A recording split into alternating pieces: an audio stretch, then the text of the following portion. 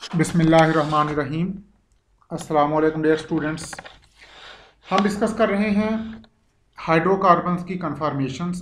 Previous lectures में हमने discuss किया था एन ब्यूटेन की कन्फर्मेशंस। अब हम कन्फर्मेशंस ऑफ़ लॉन्गर मालिक्यूल्स को डिस्कस करेंगे। इसी टॉपिक को एक्सटेंड करेंगे लॉन्गर मालिक्यूल्स पर।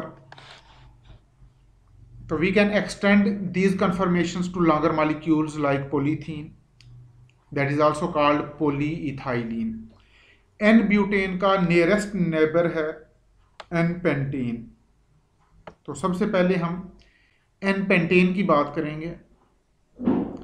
फिर अपनी इसी थ्योरी को हम एक्सटेंड कर देंगे लांगर मालिक्यूल्स पर। तो एक बात जहन में रखिएगा कि लांगर मालिक्यूल जब सोल्यूशन में होते हैं तो they can attain countless number of confirmations. There are large number of possible confirmations.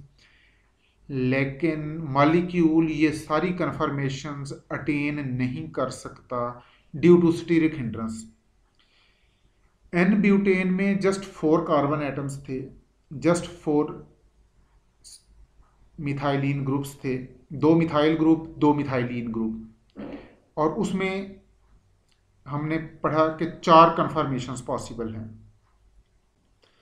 अब जो जो आप मालिक्यूल को की लेंथ इंक्रीज करते जाएँगे तो number of carbon atom increase होते जाएँगे number of single bond increase होते जाएँगे, और हर सिंगल बाड के अराउंड जब रोटेशन होगी तो there will be countless number of conformations the case will be relatively more complicated लेकिन ये सारी कन्फर्मेशन पॉसिबल नहीं होंगी due to steric hindrance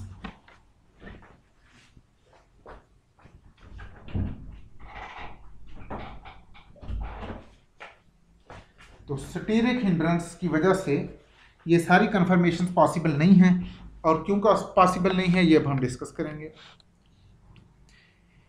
N pentane is the nearest neighbour of n butane n pentane और n butane में एक methylene group का difference है, यानी एक सी एच टू ग्रुप का डिफरेंस है। सिंपलेस्ट हाइड्रोकार्बन है मीथेन उसके बाद इथेन उसके बाद प्रोपेन और उसके बाद एन ब्यूटेन और एन ब्यूटेन के बाद सिंपलेस्ट हाइड्रोकार्बन है एन पेंटेन इसमें एक एडिशनल मिथाइलिन ग्रुप होगा।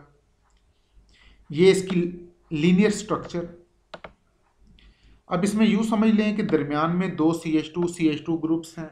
एक तरफ़ मिथाइल ग्रुप दूसरी तरफ़ इथाइल ग्रुप लेकिन ये एन पेंटेन की एक्चुअल स्ट्रक्चर नहीं है, क्योंकि हमने पढ़ा था हाइड्रोकार्बन कार्बन्स में जो अल्केन हाइड्रोकार्बन्स हैं, उनमें हर कार्बन sp3 हाइब्रिडाइज्ड है। और जब sp3 हाइब्रिडाइजेशन होती है then there is bond angle of 109.5 degree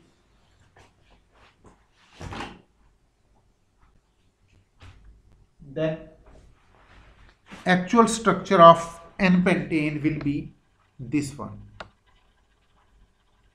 this one CH3 CH2 CH2 CH2 CH3 ये बॉन्ड एंगल 109.5 डिग्री का है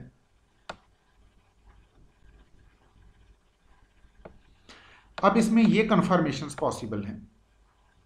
यहाँ टी रिप्रेजेंट करता है ट्रांस को जी रिप्रेजेंट करता है गाउच को। अब जी प्लस और जी माइनस इनका डिफरेंस हम देखेंगे कि सोल्यूशन में एन पेंटेन कितनी कन्फर्मेशन अडॉप्ट कर सकती है। इसके लिए ये वीडियो देखिएगा।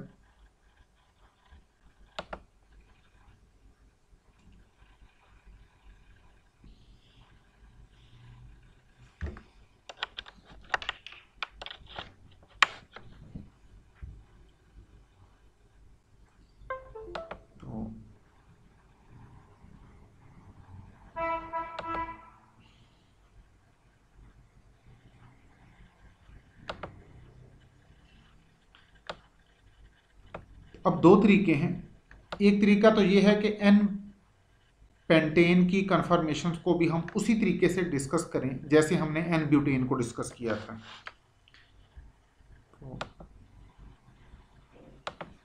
दैट इज़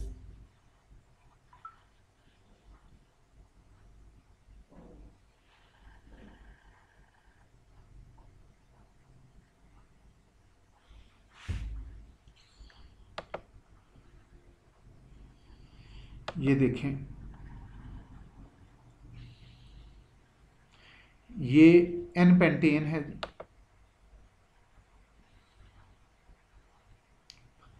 ये देखें। ये मिथाइल ग्रुप ये जो ब्लू है, और ये रेड ये ethyl group C H three C H two अब ये इसकी सिस कन्फर्मेशन है।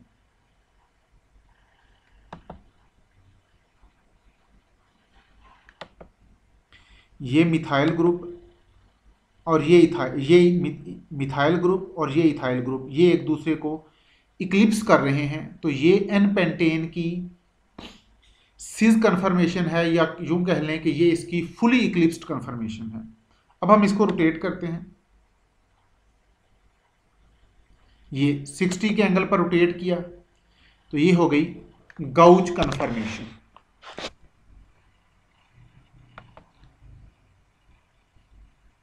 ये गाउच कन्फर्मेशन फर्दर 60 पर रोटेट किया, ये हो गई पार्शली इक्लिप्स्ड कन्फर्मेशन जिसमें ये मिथाइल ग्रुप और ये हाइड्रोजन जो पीछे ब्लैक हाइड्रोजन है, ये एक दूसरे को इक्लिप्स कर रहे हैं। अब देखें, ये इसकी है ट्रांस कन्फर्मेशन ये मिथाइल ग्रुप और ये इथाइल ग्रुप अब मैक्सिमम डिस्टेंस पर चले गए। ये ट्रांस कन्फर्मेशन या जिसको हम कहते हैं फुली स्टैगर्ड कन्फर्मेशन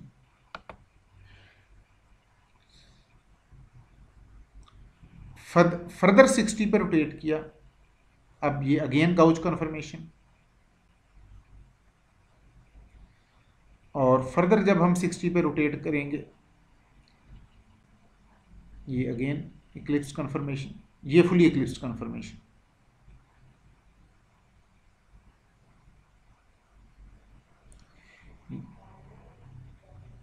ये देखें 60 पे रोटेट किया गाउच कन्फर्मेशन देन 60 पे रोटेट किया पार्शली इक्लिप्स्ड कन्फर्मेशन देन 60 पे रोटेट किया ट्रांस कन्फर्मेशन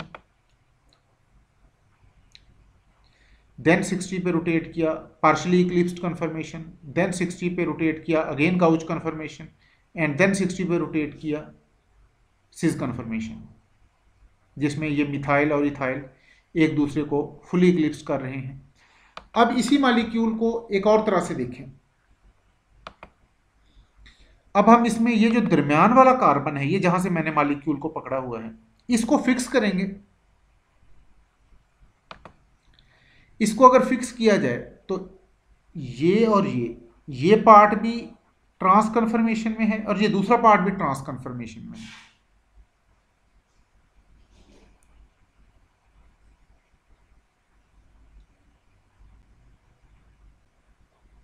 ये देखें। अब इसको 60 पे रोटेट किया। ये आ गया गाउच कंफर्मेशन में। अब एक पार्ट ट्रांस कन्फर्मेशन में है, दूसरा गाउच कन्फर्मेशन ये पार्ट ट्रांस कन्फर्मेशन में और ये गाउच कन्फर्मेशन दरमियान वाले कार्बन को हमने फिक्स रखा। अब ये दूसरी तरफ़ भी रोटेट किया। अब देखिए, इस तरफ़ भी 60 पर रोटेट किया, ये भी गाउच कन्फर्मेशन में आ गया और ये भी गाउच कन्फर्मेशन में आ गया। दोनों तरफ़ हमने दरमियान वाले कार्बन को, जो मिडल कार्बन है, ये वाला, इस मिडल कार्बन को हमने फिक्स किया। तो नॉर्मल कंडीशन में ये भी ट्रांस कन्फर्मेशन और ये भी ट्रांस कन्फर्मेशन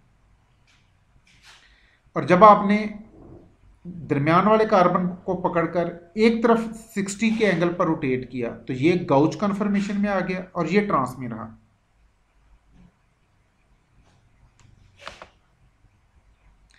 और अगर आप दोनों को एक ही तरफ़ 60 के एंगल पर रोटेट करें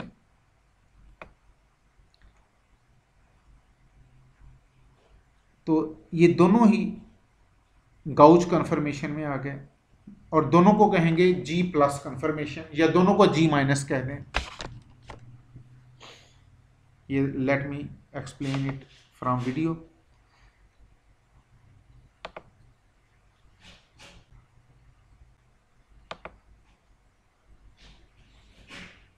अब ये दरमियान वाले कार्बन से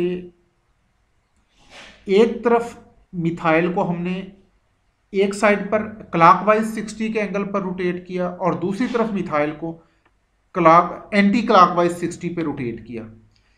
तो ये दो गाउज कन्फर्मेशन आ गई। ये एक जी प्लस कहेंगे और दूसरे को कहेंगे जी माइनस ये भी स्टेबल कन्फर्मेशन है।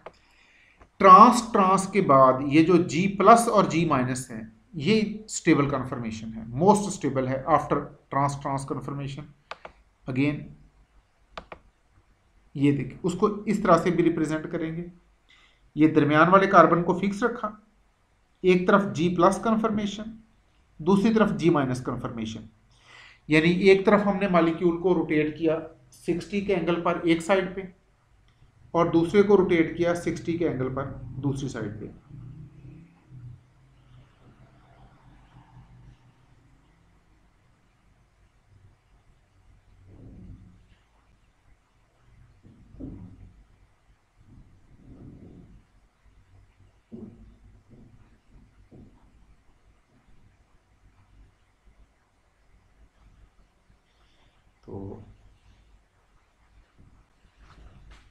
अब देखिए again come to video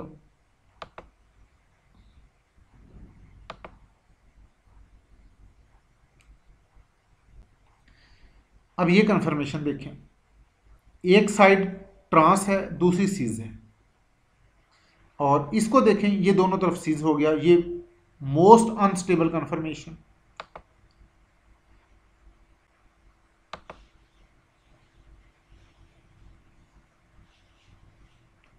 again देखें, ये एक्चुअल स्ट्रक्चर जिसको हमने ट्रांस ट्रांस कन्फर्मेशन कहा हुआ है, ये गाउच ट्रांस कन्फर्मेशन अब ये दोनों सेम साइड पर 60 के एंगल पर रोटेट हुए तो ये ये भी जी प्लस और ये भी जी प्लस या दोनों को जी माइनस जी माइनस कहते हैं अगर आप एक को रोटेट करें 60 के एंगल पर राइट साइड पे इसको हमने 60 के एंगल पर रोटेट किया क्लॉकवाइज और इसको 60 के एंगल पर रोटेट किया एंटी क्लॉकवाइज तो ये जी प्लस हो गया और ये जी माइनस हो गया. तो ये जी प्लस जी माइनस ये भी यानी gauche plus gauche minus conformation ये भी बड़ी स्टेबल कन्फर्मेशन है. अगर इस कन्फर्मेशन में आ जाएँ ये देखिए ये सिस सिस कंफर्मेशन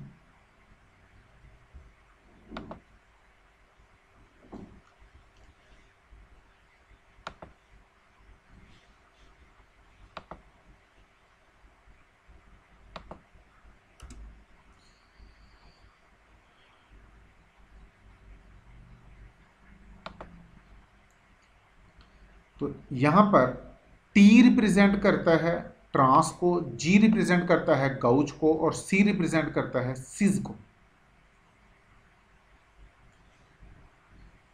अगेन देखें, ये दरमियान वाले कार्बन को अगर फिक्स रखा जाए और दूसरे ये सी एच थ्री और C H two maximum distance पर है, ये दोनों, ये भी ट्रांस और ये भी trans.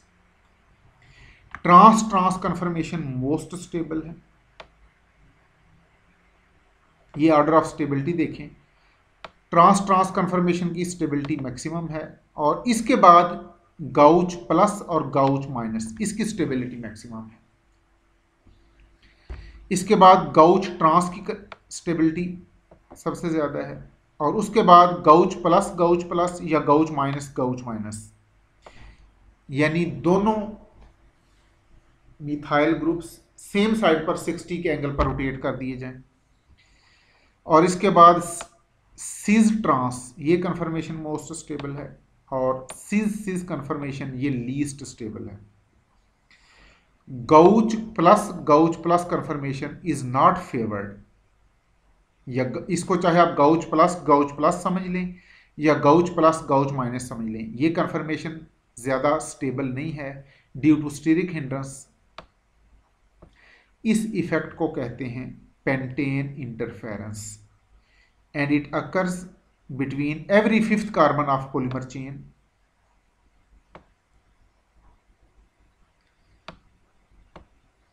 तो पोलीमर चेन जब सॉल्यूशन में होगा it can rotate freely along the carbon carbon bond and limitless number of conformation are possible अब ये कौन सी कन्फर्मेशन है? वंस अगेन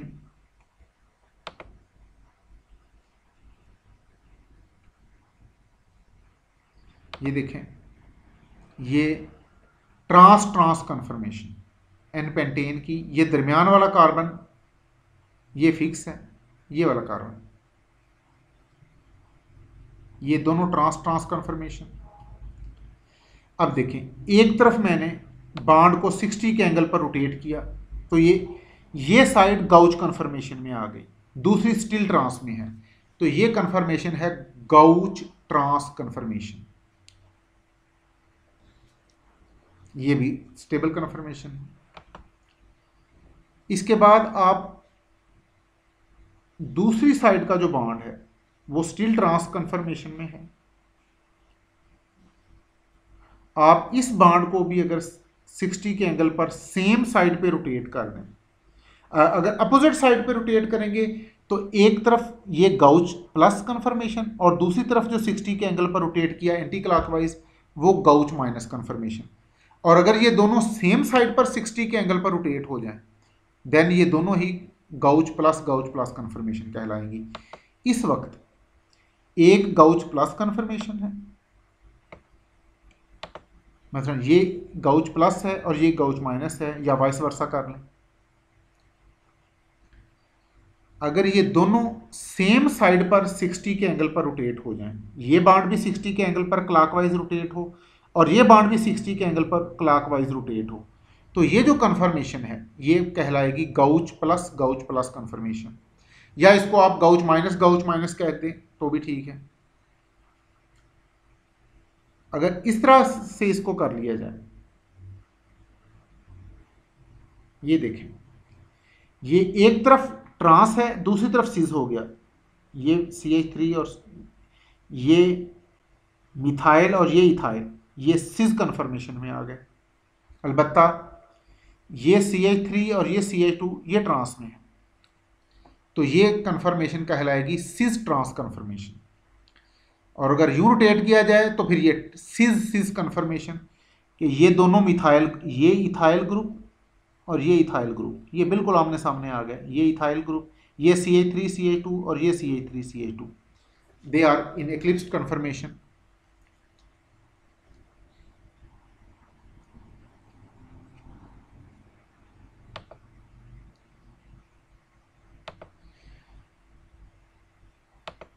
तो thank you very much dear students इस वीडियो को अगर समझ ना आए तो दो तीन दफ़ा देख लें। अगर फिर भी समझ ना आए तो हम इसे फिर डिस्कस कर लेंगे रिपीट कर लेंगे।